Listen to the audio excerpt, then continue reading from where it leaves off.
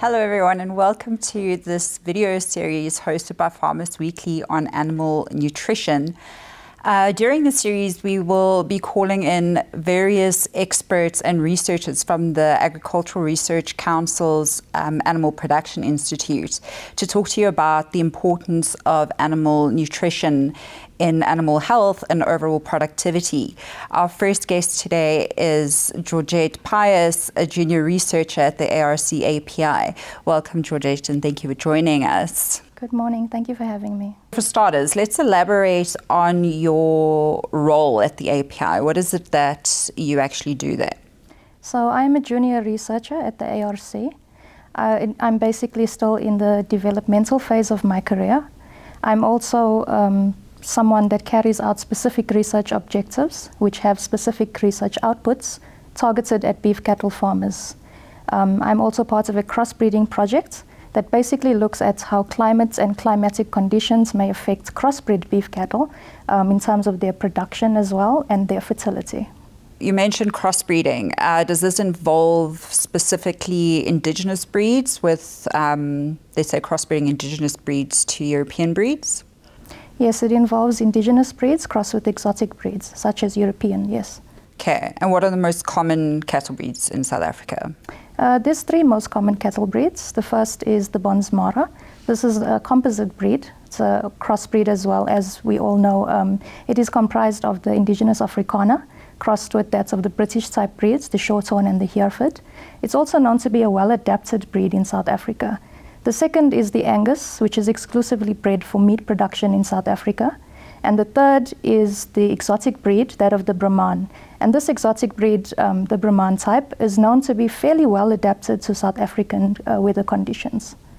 And do indigenous breeds feature at all in the national flock? I know, so obviously there are a few Nguni farmers, let's say, but um, do they make a big contribution to the national flock? Indigenous breeds do feature highly, yes. Um, they are known to be very adapted, as I've mentioned before. Um, for instance, the Afrikaner is indigenous, as well as the Nguni and Nguni types. Specifically, the Nguni types are uh, known to be very uh, highly resistant to ticks and tick-borne diseases. The indigenous Afrikaner is very um, significant in the meat market, and these two breeds are also known to be well, to known to produce relatively tender and um, tasty meats. Okay, so Georgette, I recently read your research paper on the comparison between the water intake of Afrikaner and Nguni cattle. Could you elaborate perhaps a bit on what the results of that research was? Uh, yes, the reason for us doing that research was to look at how climate affects water, behavior, and intakes of different beef cattle genotypes. Particularly in the study, we used just indigenous breeds, the purebred Afrikaner and the Nguni. Um, we uh, did this in a controlled system where we did this over the period of the summer. Uh, we had a number of heat waves that we experienced during this time, so we got a lot of good uh, recordings from this data. Basically, this data showed us that between the indigenous and indigenous Afrikaner, that is, and the indigenous Nguni breeds, there was large differences in water intake over periods of time where heat waves were experienced. This means that the animals undergone heat stress. So therefore, we see that the Afrikaner and the Afrikaner types were well adapted to heat in a sense that their water intakes uh, were less variant over this period of time than the Nguni. The Nguni uh, seemed to intake between 30 to 40 liters more per day per group type. And this is a, a group of 10 to 15 animals per pen. So between that 10 to 15 animals at the time, it uh, was a added intake um, more than the Afrikaner of about 30 to 40 liters, yeah. So just to clarify for our viewers, so the less water the animal consumes, the less heat stress it's experiencing? Um, I wouldn't say such. I would say that it's more well adapted to know how much water intake to utilize um, under that uh, condition. Can you elaborate on any crossbreeding research that the ARC is currently undertaking? Uh, yes, earlier I mentioned that I'm, I'm, a part of a crossbreeding project. Uh, this crossbreeding project started in 2013. Uh, this was made between an agreement made by the ARC and the Northern Cape Departments of Agriculture. Basically, in this crossbreeding project, um, we took indigenous Afrikaner and Nguni dams, as well as the Bonsmara dam lines, uh, cows, and we crossed them with Afrikaner, Bonsmara, and Nguni bulls, as well as uh, inclusive of specialized sire lines, or bulls that is, of Angus and Simmentaler. This resulted in us having 15 different um, breeds of cattle. Uh, we had the 12 crossbred genotypes or breeds, and we had the three purebreds of our indigenous. And what were you looking for? What was the goal of the, the project? Um, so the goal of the project was to just see how temperature and different extensive farming productions compared to commercial uh, farming has an effect on the different breed types, especially the crossbreeds, because this re uh, research was never done before. Mm. So we did, we maintained uh, the study where we took crossbreeds. Uh, we looked at them in extensive farming conditions where nutrition was limited and um, also the, there was a number of heat waves and heat stress that the animals had undergone. Also, in these extensive farming systems, the managerial uh, skills or I would say the management was not so good on these farms. And then the study, well, the results actually indicated that the indigenous breeds had a significant uh, production uh, compared to that of the exotic breeds. The exotic breeds didn't form in, uh, perform so well. Um, they had uh, less water intakes, they had um, less growth, they had less ADG, average daily gain, um, and also their feed, takes, feed intakes were much higher.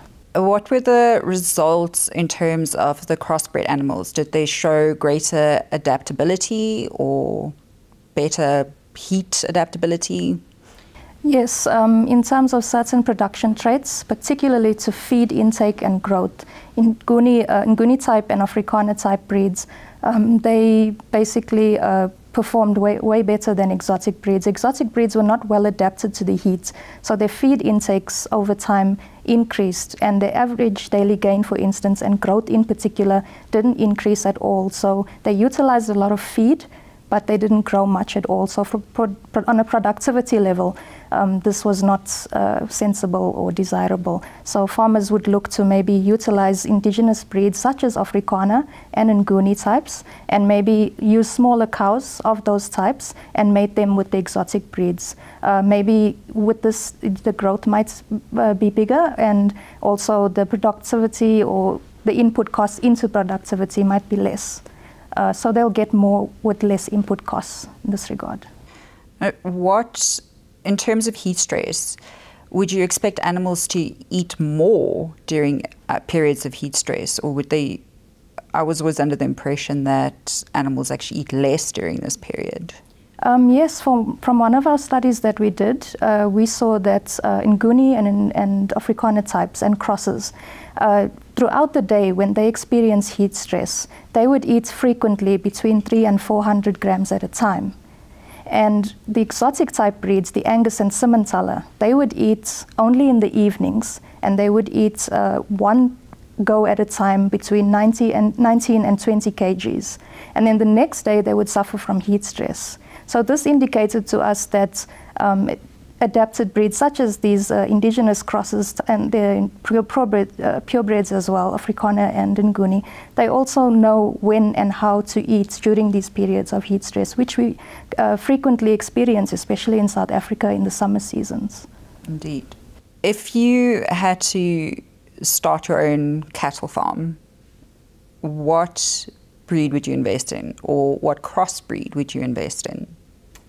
Um, I wouldn't say any breed in particular is better than the other. Uh, I would crossbreed uh, breeds such as indigenous breeds, but of a progeny that produces higher, um, for instance, depends on what you want to produce. If you want to produce uh, milk, if you want to produce uh, meat, then you would obviously look to uh, progeny first. You'll start with progeny, you'll look at the backgrounds of the, or the genetics of the animals. Um, and then you'll uh, probably take maybe in Nguni types or Afrikaner types. I think Afrikaner types are more desirable as well because um, they are more uh, adapted and uh, resistant to certain diseases, especially common diseases which we find in South Africa. Um, the Nguni is good in a sense that fertility is good uh, regardless of in environmental factors. Uh, the Nguni is also specifically known from studies to be high resistant, highly resistant to ticks and tick-borne diseases. So between those two breeds, I would probably mate them with uh, an Angus type or Brahman types. Finally, what do you think are the biggest challenges facing, let's say specifically beef producers in 2023? Okay, specifically beef producers. Um, well, the farming industry on a whole is uh, undergoing a lot of constraints uh, with the current power outages that happen. Um, it compromises farmers and their productivity.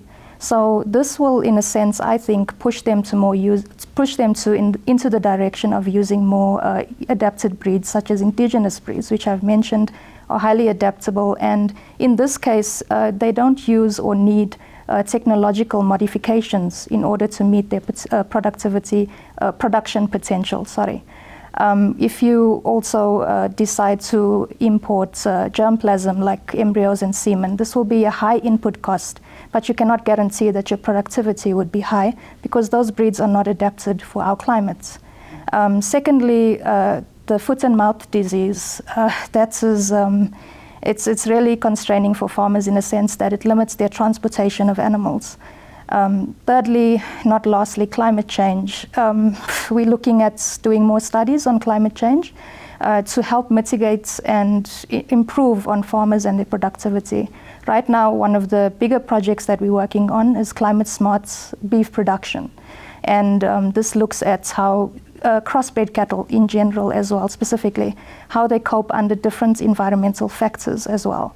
So um, we're trying to also uh, produce climate smart warning systems for farmers so that we can help them with their productivity. And also we want to recommend more usage of crossbreeds.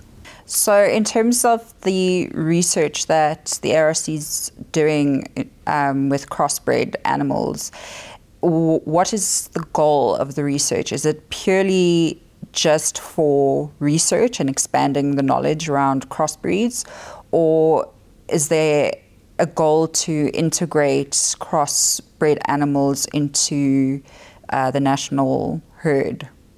Yes, um, ultimately it is a bit of both of what you've asked. Uh, firstly, the crossbreeding project was designed to see if crossbred beef cattle perform well, um, especially under adverse climatic conditions. Um, we do offer information about our research to farmers. We try to indicate to them that there is benefits to crossbreeding, such as heterosis, which is basically where um, a crossbreed uh, progeny, like for instance, if you cross a Afrikaner with a Bonsmara, the progeny uh, and its performance will wield well over the performance of the purebred Afrikaner and Bonsmara. Um, also, our research looks to implement um, opportunities for farmers to, in a sense, uh, produce Afri beef. And Afri beef is a specialized premium meat, and this can be sold at a higher cost. So there's an opportunity there for a niche market farmers can get into and increase their production and their uh, profits, that is. Thank you very much, Georgette, for sure. being with us. Thank you.